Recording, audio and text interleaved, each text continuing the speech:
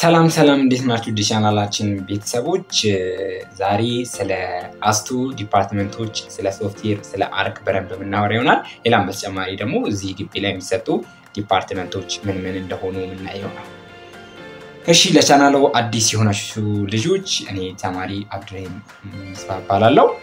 የአስቱ second year software engineering ተማሪ ነኝ።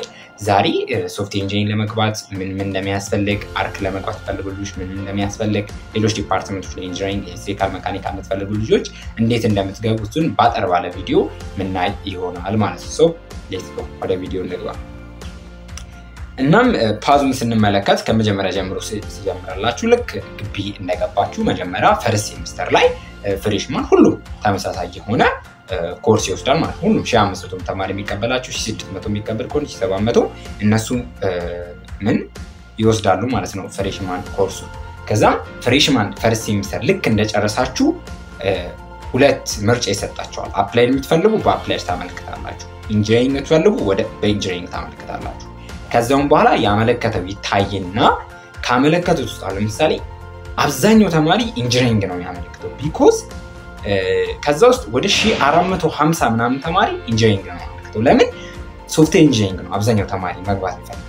ሀምሳው ተማሪ first semester ላይ ውጤት በደንብ ካልሰራ software engineering የመግባት ብዙም ተስፋ ከሌለ ወደ applied ብሄድ ይቻለኛል እና applied ያመለክታል።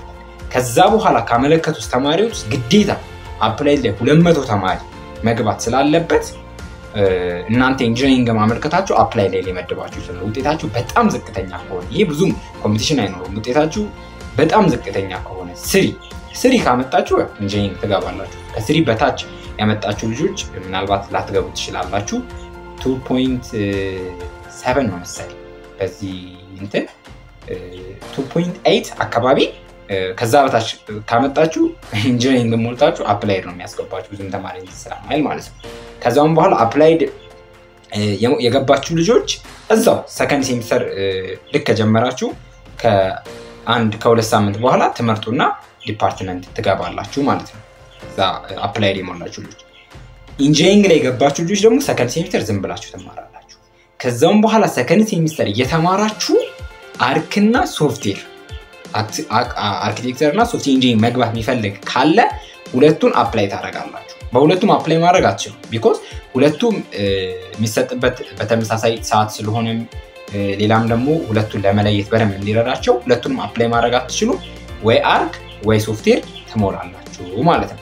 ከዛውም በኋላ ከዛ ውስጥ ሶፍትዌር ቢያንስ አንድ ሺህ አንድ መቶ ተማሪ የሚሆነው software engineering ነው የሚያመለክተው። ከዛ ውስጥ መቶ ሀምሳ ምናምን የሚሆን ተማሪ ደግሞ ምን ላይ ያመለክታል? arch ላይ ያመለክታል ማለት ነው። arch ም competition አለ። ከዛውም በኋላ ልክ second semester እንደጨረሳችሁ አንድ ሺህ አንድ መቶ አመለከተ። so ከአንድ ሺህ ካመለከተ ውስጥ አምስት መቶ ተማሪ ይለይና ለፈተና እንዲፈተን ብቁ ይሆናል ማለት ነው። አምስት መቶ ተማሪ ለምን ለፈተና፣ ከዛ በኋላ ፈተና አለ። እሱን እነግራችኋለሁ።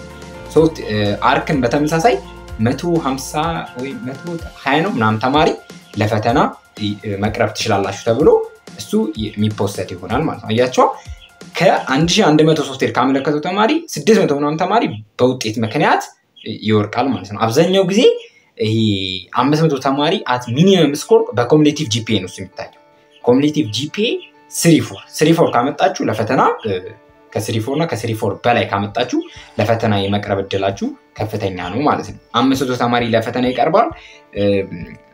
በተመሳሳይ arch ም መቶ ሀያ ተማሪ ለፈተና ይቀርባል።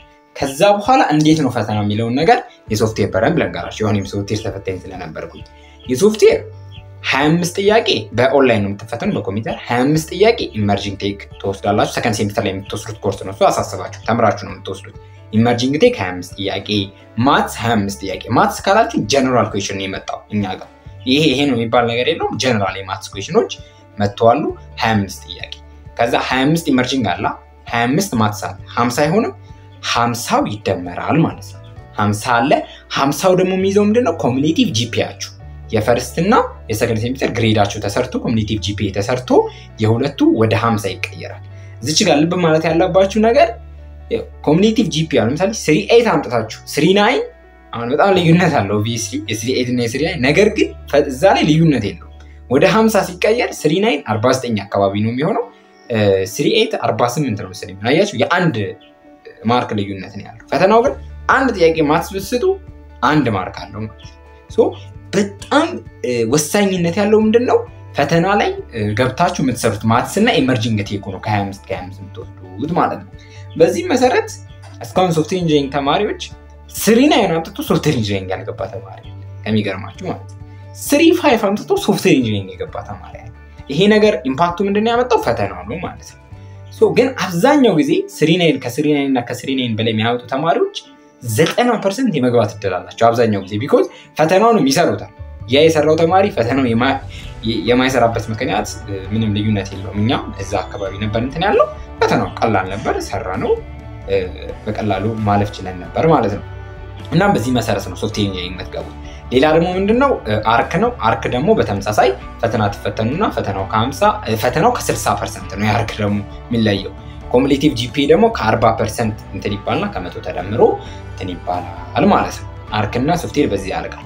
ከዛውም በኋላ Arch ና software second year ላይ department ይበተንና ተማሪ ወደ Arch ና ወደ ሶፍትዌር ይገባል። ሌላ engineering ደግሞ የሚገባው ምንድነው second year first semester ልክ እንደጨረሳችሁ second year first semester እንደጨረሳችሁ ትሞላላችሁ። electrical፣ mechanical፣ electromechanical፣ environmental፣ civil engineering engineering department በ cumulative ፈተና የለውም እሱ በ cumulative GPA ብቻ ወደ እሱ department የምትገቡ ይሆናል ማለት ነው። so በዚህ scenario ነው ወደ department የምትገቡት። I know አብዛኛው ተማሪ ሶፍትዌር ለመግባት እዚህ ግቢ እንደምትመጡ አውቃለሁ እና በጣም ከሰራችሁ ከለፋችሁ በደንብ ካነበባችሁ ማትገቡበት ምንም ምክንያት የለም። መልካም እድል እንዲመኛችሁ የምትፈልጉት department እንዲገጥማችሁ እመኝላችኋለሁ። በሌላ ጊዜ በሌላ ቪዲዮ እስከምንገናኝ ድረስ መልካም ጊዜ